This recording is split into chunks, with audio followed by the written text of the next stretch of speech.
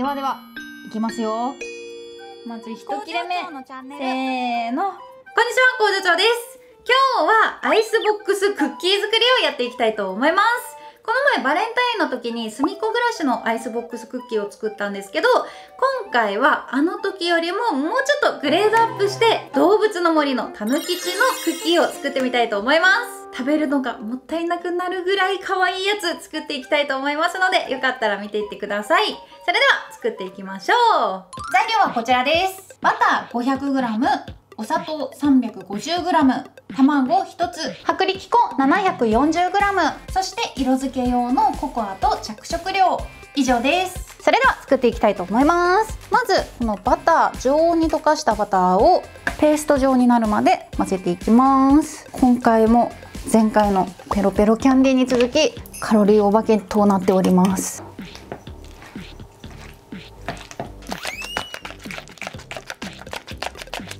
そしたらここにお砂糖を加えてさらに混ぜていきますで結構量が多いので何回かに分けながら混ぜていきたいと思います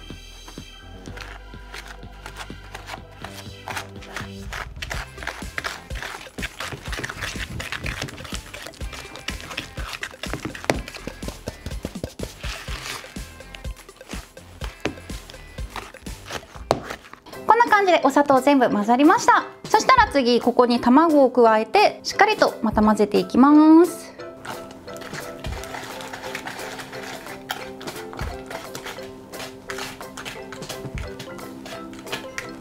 しっかりと混ざったら次はこの重さを測っていきます。どんどん。881g っていうのが分かったのでこれをだいたい半分に分けていきます。なので 440g ぐらいもらっていきます。440g で半分に分けました。そしたら続いてこっちの方には薄力粉 400g これをふるいにかけて入れていきます。の前に冒頭紹介するの忘れてたんですけどバニラオイル。これもね1滴2滴ぐらい入れておきます。まあなくてもいいんですけどあったらあったで香りが良くなるのでもしお家にあったら入れてくださいはい。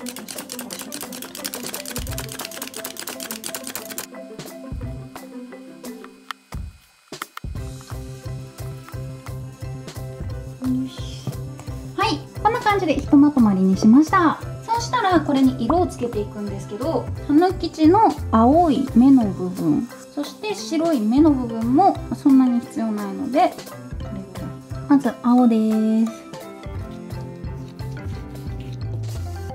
はいこんな感じでめっちゃ綺麗な鮮やかな青になりました。他のやつも同じように色付けしていきます。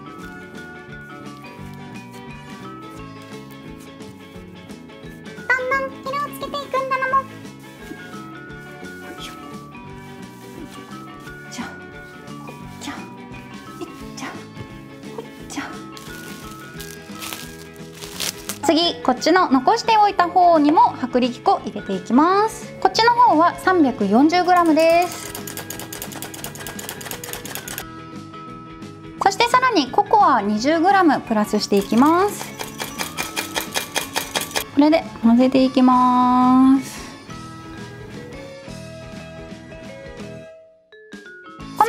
混ぜたやつを半分よりちょっと少ないぐらいだいたい 400g ぐらい取り分けてちょっと白を足してたぬきちの色に合わせていきます。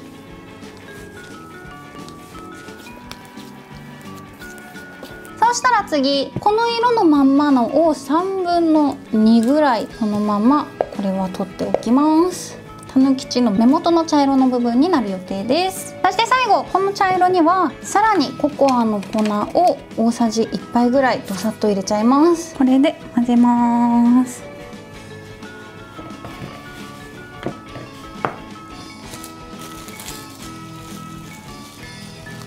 色をつけ終わったら冷蔵庫で1時間ぐらい寝かせておきます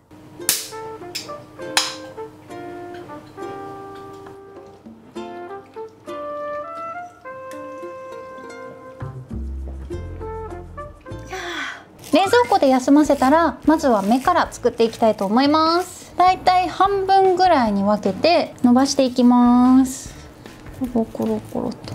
こんな感じでできるだけ同じ太さになるように丸めていきました。そしてこれをそのままラップで包んで冷凍庫で少し冷やして固めていきます。そしてもう1個の方も同じように伸ばして冷凍庫に入れていきます。続いて白い色をめっちゃ薄く伸ばしていきます。当に1ミリとかそのぐらいの薄さで伸ばします。白いやつで青をくるくるっと巻いていきます。でちょっと変なボコボコしているところは包丁で一回まっすぐ切ってこのままくるりと巻きます。このままくるくるっと。この終わりぐらいも包丁で切って。でこの巻き終わったやつを包丁を使って少し斜めにカットしておきます。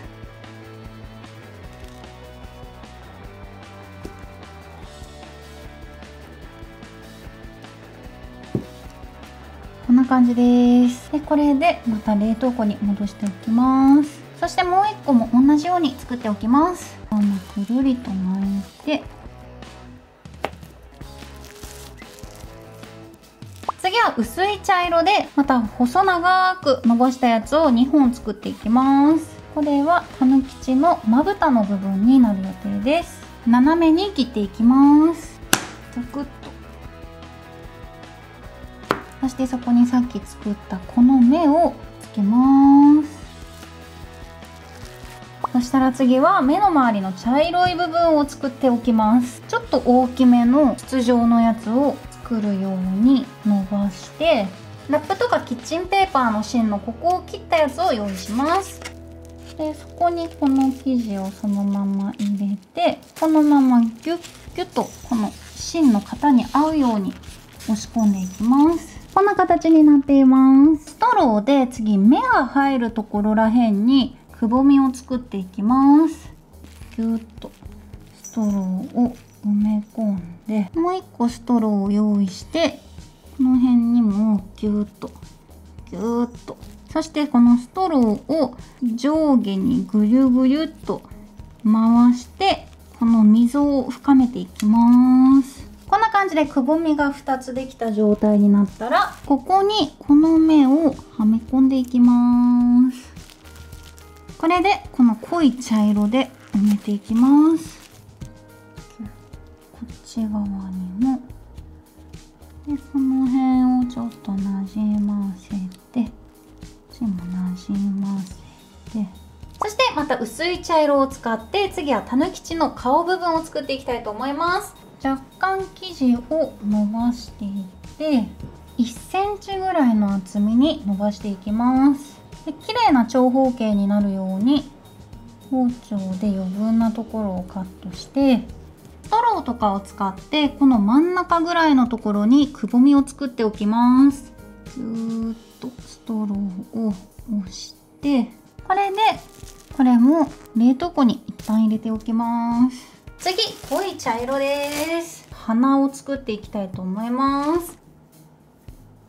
くぼませたところにこの花を入れていきますそしてその花の上に薄い茶色を伸ばしたやつをパタンとのせます。そしてこのパーツをドドンとこの薄い茶色にのっけていきます。そしてここに薄く伸ばした茶色をパタンとのっけていきます。よいしょ。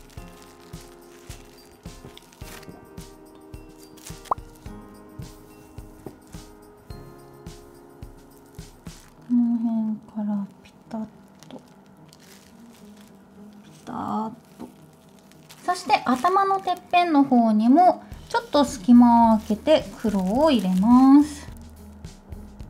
次はピンク色で耳部分を作っていきます。これも目と同じように細長く伸ばしていきます。このままぐるりと巻いていきます。こんな感じにできました。薄く伸ばした黒に耳巻いていきます。で全部は巻かないでこの面だけ残すように巻きます。キューッと。こんな感じです。ここまでできたら最後ピンク色でくるんでいきます。耳が安定しやすいように最後なんかの色でくるんだ方がいいかと思います。耳片方ここに置いてこの状態でピンクを抜いていきます。で耳のこの隙間にピンクがしっかりと入るようにキュッキュッキュッキュッ埋め込みます次反対側です反対側も耳をまず置いてここの隙間にもピンク入れていきます次は耳を隠すようにしてそしてこっち側の耳もピンク色で覆っていきます全部覆っていきましたこれで一旦冷凍庫に入れて冷やしていきます。冷凍庫で冷やしていきました。ちょっとこの麺はブサイクなんですけどこれを切ってどんな風に変わっているのか見てみたいと思います。うまくいってるといいんですけどね。ではではいきますよ。まず1切れ目。せーの。じゃじゃじゃじゃじゃーん。どうなってるかな？切るだけまっすぐ切りたい。すぐまっすぐ。まっすぐ。パパーン。おーちょっと待って。いいめっちゃいいところでメモリいっぱいになってメモリカード変えてきました。でこんな感じです。結構結構いい感じではないでしょうか。若干目の向きまぶたかな？少し微妙なところもあるんですけどたぬきちっていうのはわかるのではないでしょうか。次。いきますよ。でも若干若干表情が変わってくると思うんですよね。2枚目。ドゥドゥドゥドゥーン。おじゃーん。あかわいい。あ若干ここ穴が開いてるけど。次。よいしょ。お。ででーん。楽しい金太郎飴みたい。もうちょっとやっぱここ詰めればよかったですね。よよ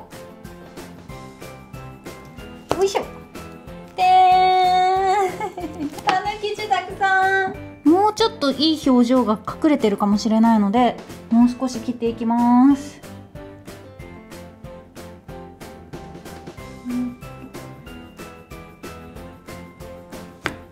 どうかな？やっぱり穴が。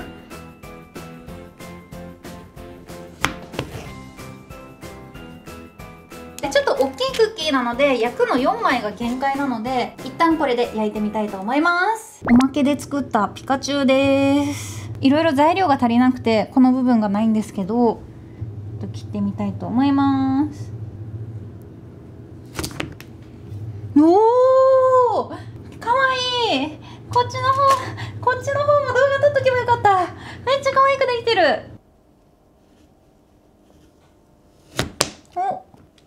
およし。できた。かわいい。ピカチュウかわいい。焼き上がりました。割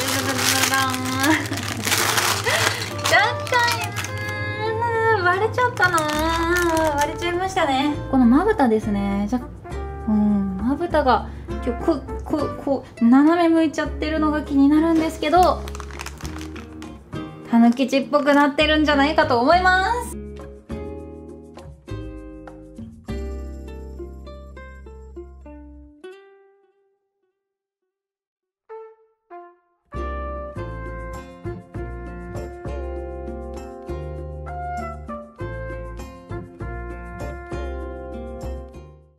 な感じでたぬきちのアイスボックスクッキー完成しました。ちょっとねまじまじと見ると失敗してる点が目立っちゃうんですけどパッと見たぬきちに見えませんか？不思議じゃない？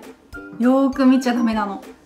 パッと見てください。たぬきちのこうまぶたのところが難しくてなので豆吉つぶ吉とかのあのパッチリ目の方だったらもっと可愛くできたんじゃないかなって思います。だけどこれはこれでたぬきち感があってまあまあいいのではないかなっていう感じです。個人的にはねすごい満足しています。切っても切ってもたぬきち出てきて楽しかったです。で見ての通り今回大きいので1枚でもかなりボリュームがあります。なので一気に焼かないで食べたい時に好きな枚数切って焼いて焼きたてを楽しむっていうのがいいのかなっていう感じでこれ1枚でもほんとねあでもお腹にくるんですよね。で今回ココアパウダーを多めに入れたのでココア味でとっても美味しい味になっていました。さっき動画撮ってない時食べちゃったんですけどとても美味しかったです。よかったら皆さんも作ってみてはいかがでしょうか。ということで本日も最後までご視聴ありがとうございました。よかったらグッドボタンチャンネル登録よろしくお願いします。今日はこれで終わります。バイバーイ。